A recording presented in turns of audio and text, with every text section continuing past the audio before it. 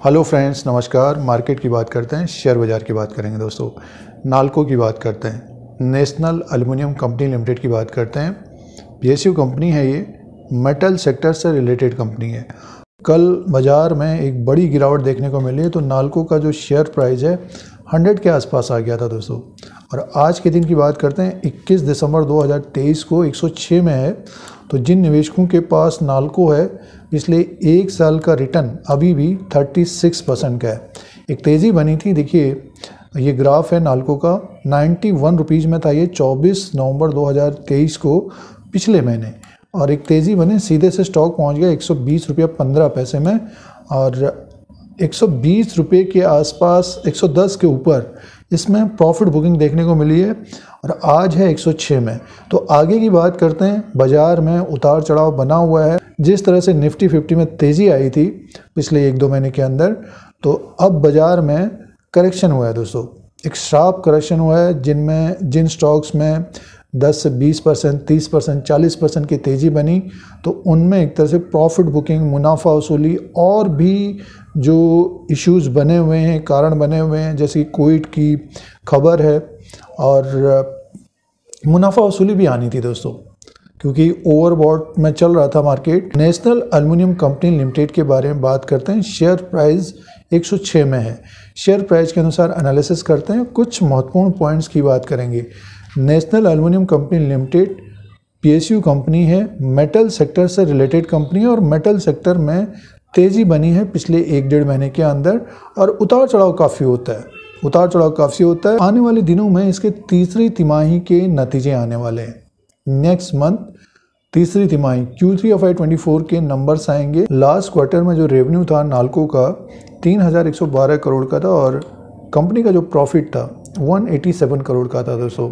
और ये रेवेन्यू भी कम था प्रॉफिट भी कम था नालको का पिछले क्वार्टर में। तो आगे जो नतीजे आने वाले हैं Q3 three F I twenty four के तो उसमें देखना पड़ेगा कि कितना इम्प्रूवमेंट होता है।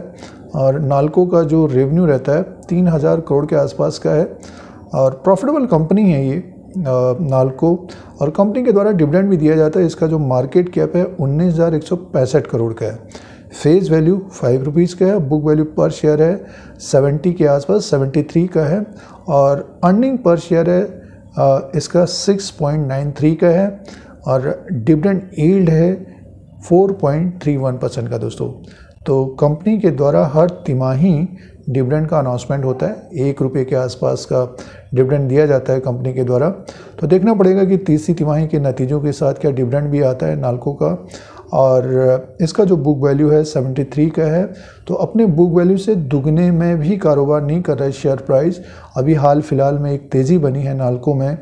और कल बड़ा करेक्शन एक तरह से देखने को मिला। एक नज़र चार्ट पैटर्न के अनुसार देखते हैं, किस प्रकार का ट्रेंड बना हुआ है, क्या करना चाहिए, नालको में होल्ड करना चाहिए या एग्जिस्ट कर लेना चाहिए, जो जिन्होंने बाई कर लिया ऊपर की तरफ़। तो चार्ट पैटर्न के अनुसार देखते हैं और फंडामेंटली बात करते हैं तो एक तरह से देखिए, इसका जो बुक वैल्यू है 73 का स्टॉक प्राइस 100 के आसपास है दोस्तों। दोस्तों चार्ट पैटर्न के अनुसार बात करते हैं। नालको का ये चार्ट लगा हुआ है, डेली कैंडल्स हैं, जो इसमें जो तेज़ी बनी, देखिए, एक बारह दो हज़ार तेईस, इसी महीने ये, इसी महीने ये स्टॉक था 91 में, और स्टॉक में एक तेज़ी बनी, सीधे पहुँच गया 120 में दोस्तों। इन्होंने इसी महीने खरीदा है तो स्टॉक 120 तक पहुँचा और 120 के आसपास 110 के ऊपर एक तरह से प्रॉफिट बुकिंग देखने को मिली है। देखिए, इस दिन भी एक तरह से प्रॉफिट बुकिंग हुई है। ये ग्रीन कैंडल है। 120 का इसने हाई बनाया और क्लोजिंग हुई एक रुपए में। दूसरे दिन रेड कैंडल बना और ये कल एक बड़ी गिरावट देखने को मिली और रेड कैंडल है। नीचे की तरफ़ स्टॉक आया और लो जो बना था, एक सौ दो रुपया अस्सी पैसे का बना। आज ये ग्रीन कैंडल है। यहाँ पर बाइंग देखने को मिल रही है।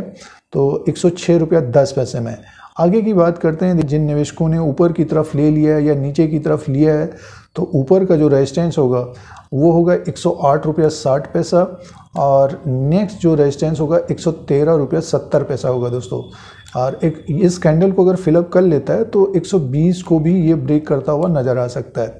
अब जिन्होंने लोअर लेवल पे लिया है, उनका तो प्रॉफिट कम हुआ है, लेकिन जिन्होंने यहाँ पे ले लिया है तो वो क्या करें? तो उनको होल्ड करना चाहिए, और यहाँ पर बाइंग देखने को मिल रही है ग्रीन कैंडल बन रहा है।